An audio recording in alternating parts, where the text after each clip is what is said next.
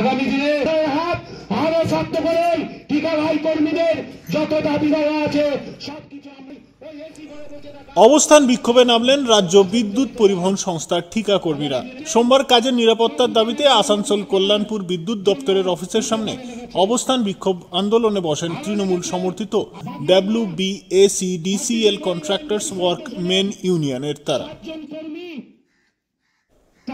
উল্লেখ্য, স্বয়ংক্রিয় ব্যবস্থা চালু হতে চলেছে বিদ্যুৎ দপ্তরে। তার ফলে কাজ হারানোর আশঙ্কা করেছেন ওই দপ্তরের কর্মরত ঠিকাকর্মীরা। এ ব্যাপারে সংশ্লিষ্ট প্রশাসনের কাছে আবেদন জানানো হলেও তাদের তরফে কোনো সদুত্তর আসেনি বলে জানান অবস্থানকারীরা। সেক্ষেত্রে তাদের দাবি পূরণ না হলে বৃহত্তর আন্দোলনের হুঁশিয়ারি দেন তারা। তবে এ ব্যাপারে বিদ্যুৎ দপ্তরের কোনো প্রতিক্রিয়া মেলেনি। কাজটিকেও ভালোবাসে আমাদের কনজিউমারকে যে আপনাদেরকে বসিয়ে দেওয়া হচ্ছে কি বলে বসানো হচ্ছে? কিছু তো আমরা চাই না। আমাদের বসানো হচ্ছে আজ পনেরো পনেরো তারিখ পনেরো ডিসেম্বর হঠাৎ করে আমাদের ডাব্লিউবিসিএল অধিকর্তা ডিএম সাহেব শুনেছি জেডএম যে সাহেব এসেছিলেন এসে একটা নোটিশ করে দিলেন।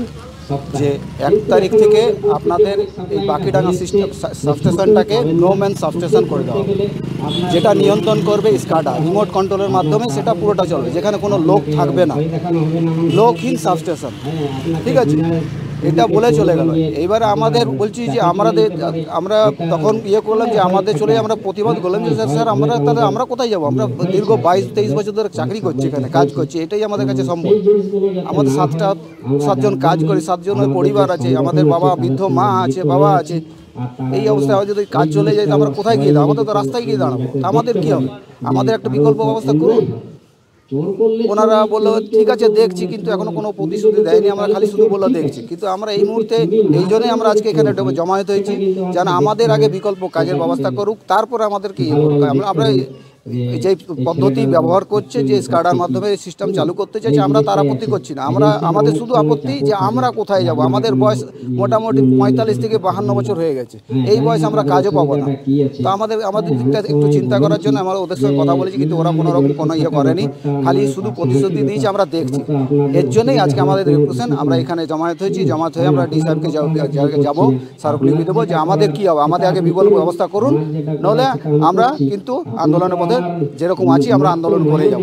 আমরা আমরা নিজের জায়গা ছাড়বো না। সাবস্টেশন থেকে আমরা কোথাও যাব না। আমরা সাবস্টেশন ছেড়ে কথা বলব না। আমাদের কাজ আমাদের দেখুন, আজকে আমাদের আন্দোলন। আমাদের আন্দোলন করতে হবে কেন? আমরা মমতা বন্দ্যোপাধ্যায়ের নেতৃত্বে এবং অভিষেক বন্দ্যোপাধ্যায়ের নেতৃত্বে, আমাদের সভাপতি মাননীয় দোলা সেনের নেতৃত্বে আমরা সারা বাংলা জুড়ে সংগঠন করছি। সরকারটা আমাদের। আমরা এই সরকারের নির্দেশিকা মেনে আমরা এই সিস্টেমে কাজ করছি। সেক্ষেত্রে আমাদের এখানে যে কর্মীরা আছে বিভিন্নভাবে তারা শোষিত। দিনের পর দিন কর্মীদের ছাঁটাই করে দেওয়া হচ্ছে। দিনের পর দিন দেখুন, এই যে বাকিডাঙ্গা সাবস্টেশন, বাকিডাঙ্গা সাবস্টেশনে আমাদের সাতজন কর্মী আছে। হঠাৎই এখানকার আধিকারিক, ডিভিশনাল ম্যানেজার উনি গেলেন, উনি গিয়ে বললেন যে তোমাদের আর এখানে কাজ করতে হবে না।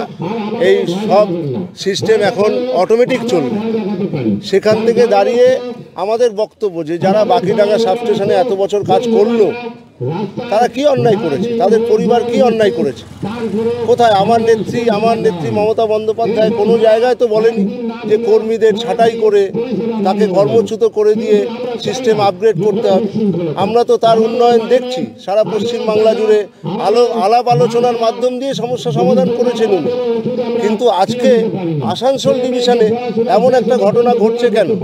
আজকে দিনের পর দিন যারা মিটার রিডিং করছিল স্মার্ট মিটার লাগিয়ে দিয়ে তাদেরকে কর্মচ্যুত করা হবে। সারা পশ্চিমবাংলায় যেরকম আমাদের পনেরো হাজার কর্মচারী আছে, যারা মিটার রিডিংয়ের কাজটা করে।